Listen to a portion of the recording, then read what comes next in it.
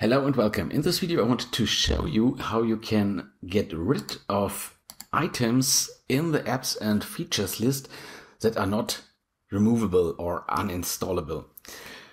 I've here in Windows 11, however this also works in previous Windows versions like Windows 10 or Windows 7. Here in Windows I'm now in the apps section and the apps and features list and for example, I have Audacity here, and if I want to remove it, I click uninstall, uninstall again, and I just get an error message. That is because I have deleted the program manually from the programs folder and the uninstaller is no longer available.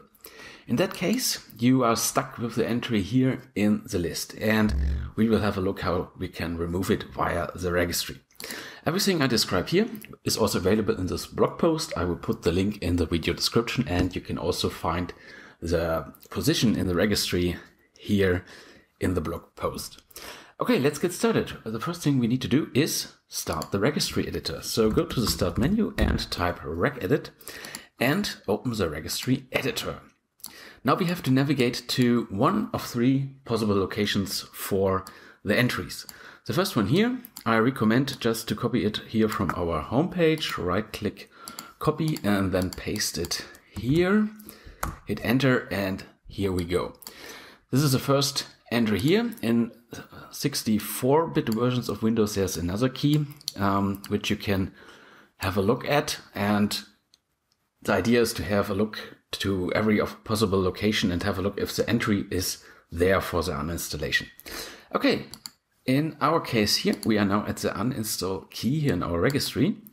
And we will, we will find multiple entries here down below this key. There are some very strange entries here, which are basically just an idea, ID. And we also have named entries here. For example, in our case, Audacity is very easy to find.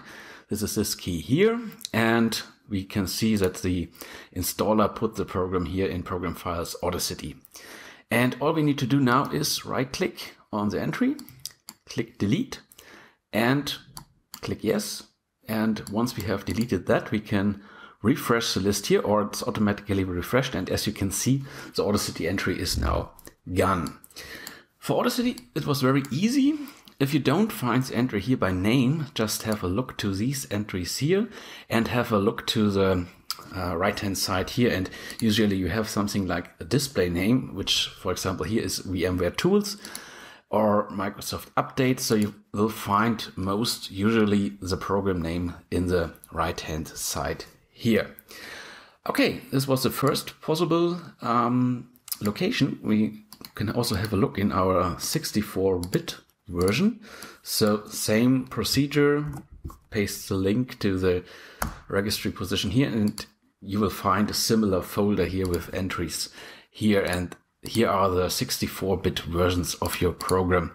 So you can also click uh, through these items here. And for example, here's a software called DA4 Maker. And if this software cannot be removed, same procedure, right click here and hit the delete button. So there's a third position. And if you don't find the position uh, that you don't find your program in the first two keys, there's also another location here. We can also have a look there. And some programs will well reference uh, in this key here. For example, OneDrive setup is referenced here. And well, that's how you can get rid of entries in your apps and features list if they cannot be uninstalled here manually. Okay, well, that's it. And Goodbye.